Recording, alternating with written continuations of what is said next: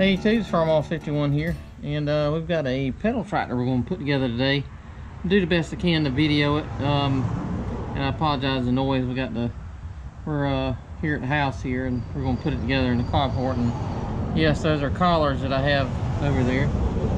But um, yes, Magnum 400 pedal tractor, and um, we kind of we kind of decided to go this way. Uh, we're going to do change something up because it seems like every other tractor club there is out there close by us is doing the latest whatever Case IH puts out.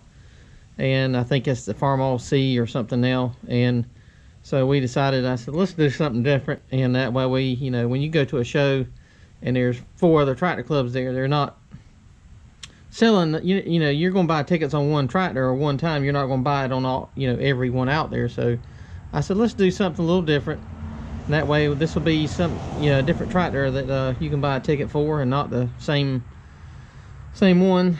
And also they've got a a, a white demonstrator C and the only i mean i like that. I mean we know what it is uh, us in the, the tractor world here but the general public does not know what a white they want to know why it's not red or and we've had gold demonstrator like 856 or something i think it was.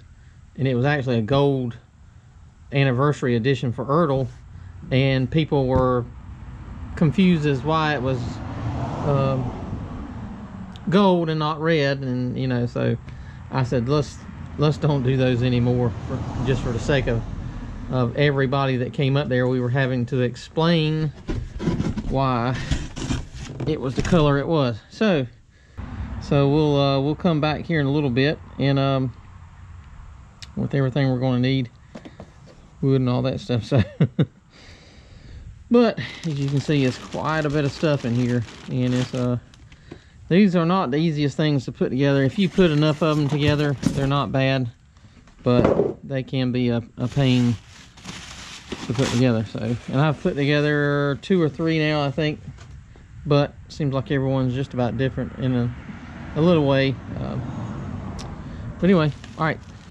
Uh, step one has us putting the seat and the steering wheel on the, uh, tractor body here. As you can see, I've got the seat laying here and the steering wheels over here with other other parts.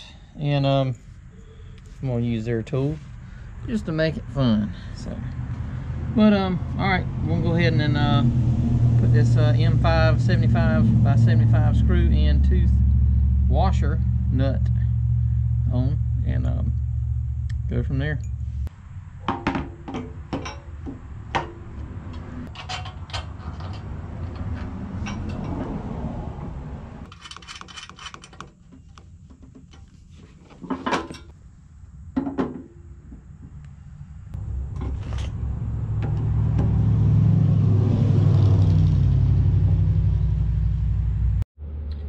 Step two was to put the uh, pedals on the uh, crank here.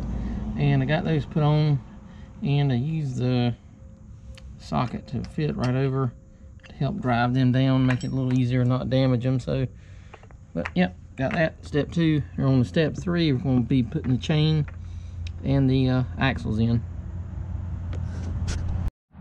All right this is step three. Went ahead and got the rear axles chain and pedals and all put on and I done put the cover back on but you see we got the axles put on and axles move. So good on that. So we're moving to the next step which is four that's putting the front axle together I guess so. All right next step uh, we're going to do is number five. So we get to put the front wheels on.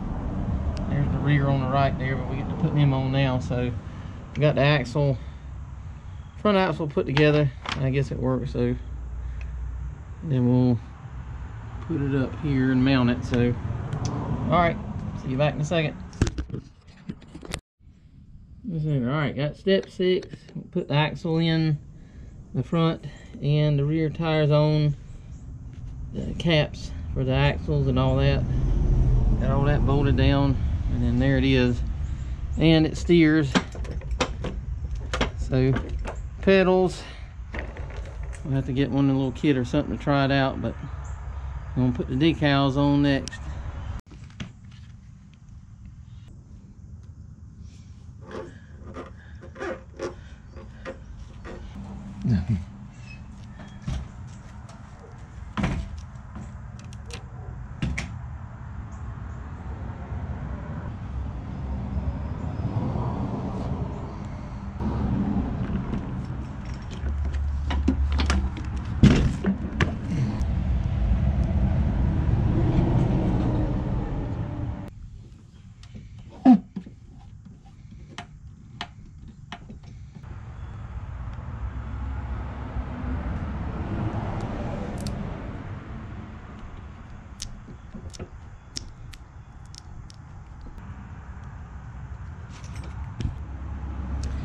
right, that's it for the Magnum 400 pedal tractor.